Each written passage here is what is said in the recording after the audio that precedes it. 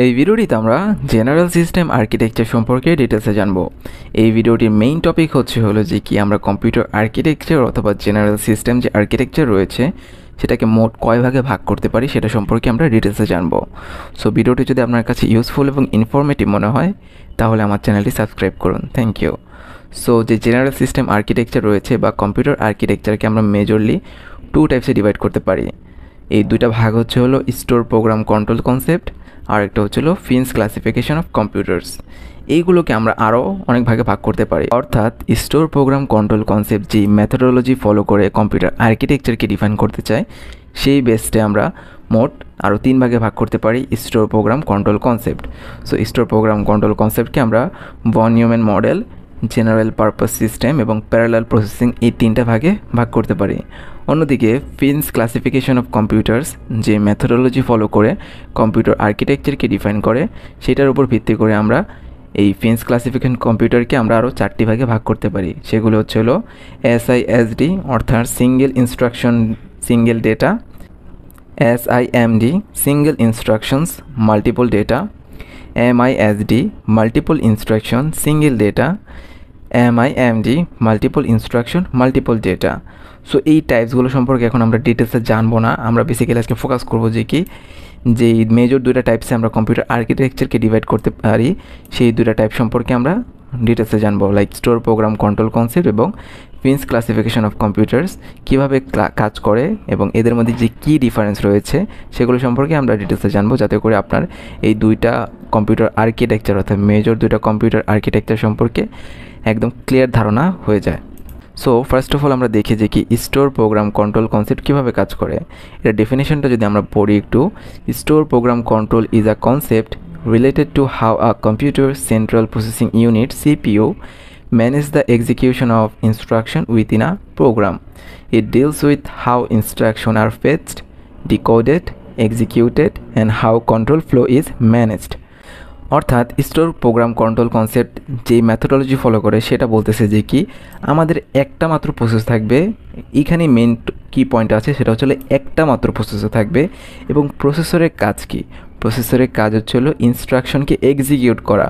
তাহলে যদি একটা মাত্র প্রসেসর কীভাবে কোনো একটা ইনস্ট্রাকশনকে এক্সিকিউট করবে, তার ভিত্তিতে আপনার কোনো আর্কিটেকচার সেট করা হয় বা আর্কিটেকচার ক্রিয়েট করা হয়, সেটাকে আমরা বলে থাকি store program control concept architecture okay so এটার কাজটা কি? এটার কাজটা হচ্ছিল যে একটা মাত্র সিপিইউ থাকবে বা প্রসেসর থাকবে, সেই প্রসেসরটা কীভাবে ইনস্ট্রাকশনকে ফেচ করে আনবে মেমোরি থেকে? দেখেন এখানে সিঙ্গেল মেমোরি আছে এবং আমাদের একটা সেকেন্ডারি মেমোরি আছে।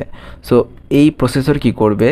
মেমোরি থেকে আপনার ইনস্ট্রাকশনটাকে পেচ করে আনবে এবং ইনস্ট্রাকশনটাকে মেশিন ল্যাঙ্গুয়েজে কনভার্ট করবে, অর্থাৎ ডিকোডেড করবে দেন এক্সিকিউট করবে। এক্সিকিউট করবে এবং এই তিনটা কাজকে ম্যানেজ করবে কীভাবে? কন্ট্রোল ফ্লোরের মাধ্যমে, যেটা প্রসেসরের মাধ্যমেই প্রোভাইড করা হয়। তাহলে স্টোর প্রোগ্রাম কন্ট্রোল কনসেপ্টের যে আর্কিটেকচারগুলো আছে, সেগুলি মেনলি ফোকাস করে একটা মাত্র প্রসেসরের উপর এবং প্রসেসরের ইনসাইডে এই প্রসেসরটা কীভাবে ইনস্ট্রাকশনটাকে পেচ করে নিয়ে আসবে, সেটাকে ডিকোড করবে এবং এক্সিকিউট করবে, সেটার উপর গুরুত্ব দেয়। এবং তার ভিত্তিতেই বাকি আদার যেই আমরা তিনটা টাইপস দেখছিলাম স্টোর প্রোগ্রাম কন্ট্রোল কনসেপ্ট সেই ধরনের আর্কিটেকচারকে ডিফাইন করে ওকে অন্যদিকে ফিন্স ক্লাসিফিকেশন তাহলে কি ধরনের আর্কিটেকচারকে ডিফাইন করে?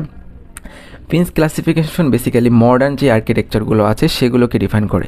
এটার ডেফিনেশনটা যদি আমরা একটু পড়ি Flynn's classification categorize computer architecture based on the number of instruction streams and the data streams they can handle concurrently এখানে যে কম মানে কি পয়েন্টটা আছে যেটা আমাদের ফিন্স ক্লাসিফিকেশন আর্কিটেকচারটা বুঝতে হেল্প করবে সেটা হচ্ছে কোনো একটা কাজ কনকারেন্টলি করা। কোনো একটা বা মাল্টিপল কাজ কনকারেন্টলি করা। সাপোজ আমাদের একটা হাই কম্পিউটেশনাল কম্পিউটার লাগবে বা সুপার কম্পিউটার লাগবে, যেখানে মাল্টিপল প্রসেসর থাকবে। সো মাল্টিপল প্রসেসর থাকলে কি সেই ক্ষেত্রে কি আমরা এই store program control concept architecture দিয়ে কি আমাদের কম্পিউটার ক্রিয়েট করে ফেলতে পারব আর্কিটেকচারটা না, কারণ এটা মাত্র একটা সিঙ্গেল প্রসেসর নিয়ে কাজ করে।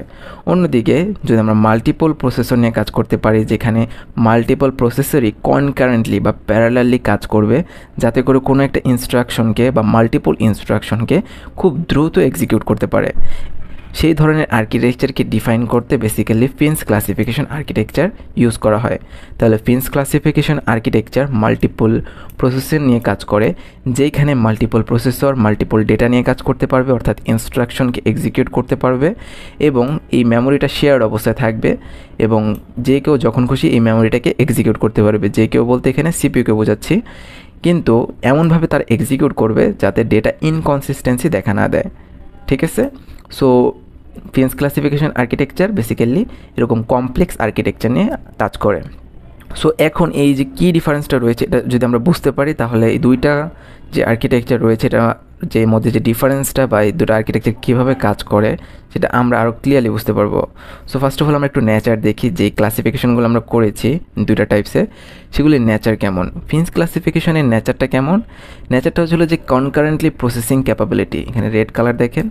সো কনকারেন্ট প্রসেসিং ক্যাপাবিলিটি এটা প্রোভাইড করে কি? ফিন্স ক্লাসিফিকেশনের আর্কিটেকচারগুলো আমাদের প্যারালালি কোনো একটা কাজ হ্যান্ডেল করতে হেল্প করে।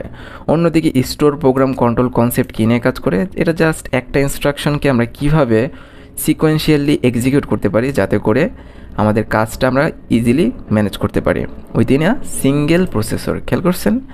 ওকে তো তারপরে চলো ফিন্স ক্লাসিফিকেশন কিসের উপর ফোকাস করে মেনলি মেনলি ফোকাস করে যে কি আমার সিঙ্গেল ইনস্ট্রাকশন থাকবে এটা কীভাবে আমি সিপিও মাল্টিপল সিপিওর মাধ্যমে এক্সিকিউট করতে পারি অথবা মাল্টিপল প্রসেসর থাকবে? সেই আমি যে সিঙ্গেল ইনস্ট্রাকশনটা আছে, সেটাকে মাল্টিপল প্রসেসর দ্বারা খুব দ্রুত কীভাবে এক্সিকিউট করতে পারি? সো একটা ধরেন, একটা প্রসেসর যদি একটা ইনস্ট্রাকশনকে এক্সিকিউট করে, সেটা ধরেন ধরতে গেলে, মনে করলাম টেন মিলি সেকেন্ড লাগে, কিন্তু আমি যদি দুইটা প্রসেসর দিয়ে একটা মাত্র ইনস্ট্রাকশনকে এক্সিকিউট করতে চাই, তখন যে টাইমটা লাগে সেটা কিন্তু অনেক মিনিমাইজ হয়ে আসে।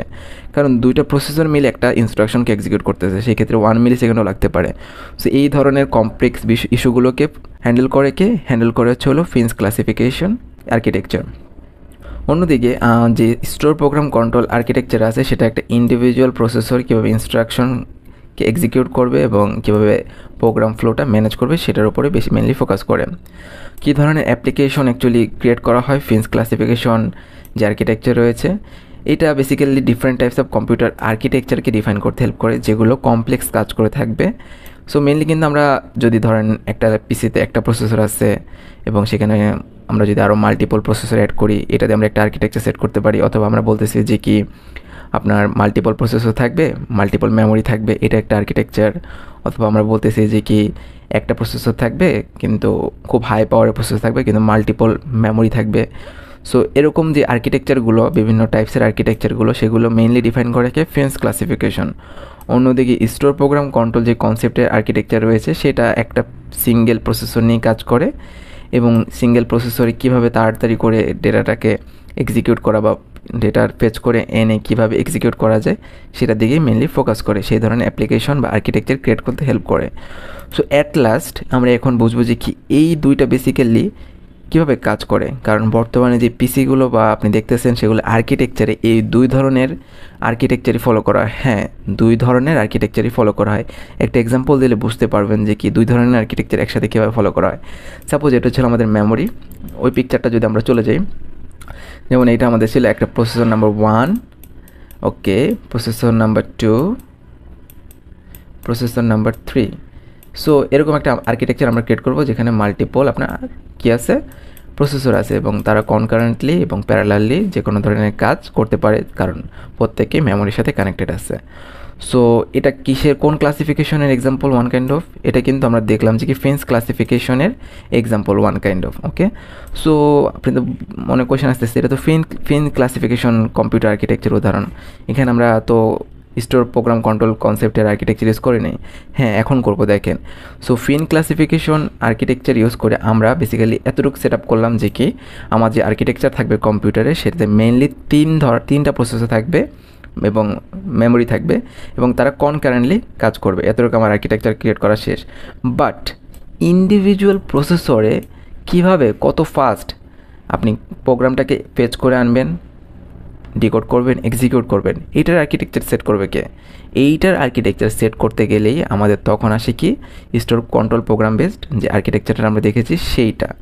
সো ফিন্স ক্লাসিফিকেশন আর্কিটেকচার দিয়ে আমরা এক্সটার্নালি বেসিক্যালি কী কী কম্পোনেন্ট থাকবে, সেগুলি ইন্টারকানেক্টেড কীভাবে থাকবে, সেগুলি ডিফাইন করে ফেলি। এবং ইন্ডিভিজুয়াল প্রসেসরের মধ্যে কীভাবে কোনো একটা ইনস্ট্রাকশন খুব দ্রুত এক্সিকিউট করা হবে, সেইটার যে ক্যাপাবিলিটি বা সেইটার যে প্রসেসিং ক্ষমতা বা সেটার যে আর্কিটেকচারটা সেটা ডিফাইন করে কে? কে? সেটা ডিফাইন করে হচ্ছিল আমাদের store program control concept architecture so এই ইন্ডিভিজুয়াল প্রসেসর আমরা অ্যাড করতেছি কি? স্টোর প্রোগ্রাম কন্ট্রোল কনসেপ্ট আর এই পুরোটা আর্কিটেকচারটা কিসের জন্য? এই পুরো আর্কিটেকচার ডিফাইন করা হয় ফিন্স ক্লাসিফিকেশন আর্কিটেকচারের মাধ্যমে।